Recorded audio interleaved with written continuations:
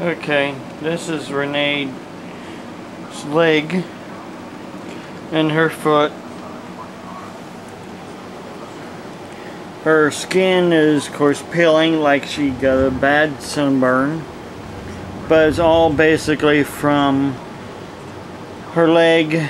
She has what's called cellulitis that lays dormant in her skin. And if she gets a, a sore or a cut like uh, she has on her foot, uh, and it don't heal right, then uh, she gets infection and uh, she gets um, sepsis, which is infection in the blood, and uh, brings this cellulitis back out of her leg again.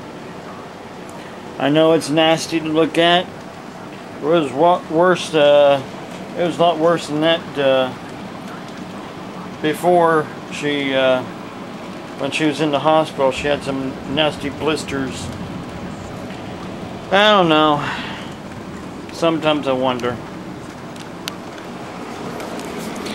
There's a lady out there in uh, Michigan, Melissa Mayer Hobolt. Yes, I'm calling you out. I'm calling you out on this video on YouTube because you are a moron. Plain, pure, and simple as that. No ends, ifs, or buts about it.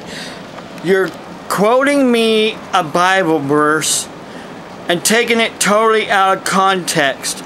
You think that there is some kind of a job out there that I should be able to do wearing my TENS unit for eight hours a day, taking medication that makes me drowsy and uh, sleepy. Also, you think that there my birth defect Basically, you don't think it's real, even though I've showed on YouTube it is real. X-rays don't lie. Doctors' excuses don't lie. You are a liar. Got it? You're a liar. No ands, it's a buts about it.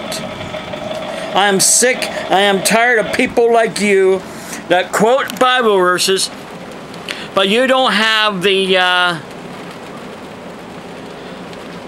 backbone to back up your lies because you know you're doing it out of spite because you think that you're right while you know you're wrong.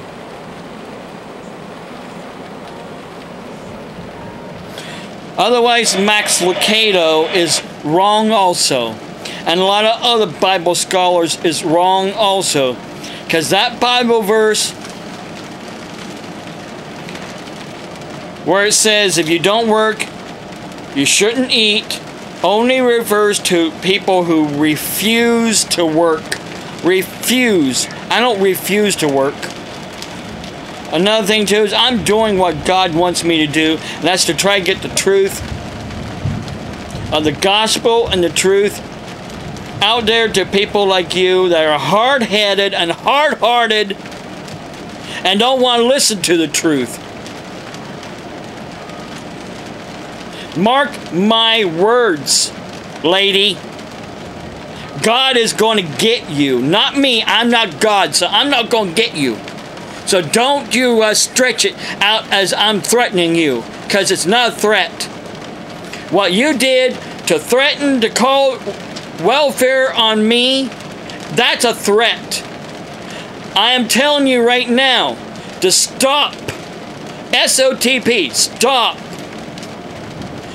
commenting on my comments I make on, on my Facebook ministry. McKim Beacon Light Ministry and Soul Clinic.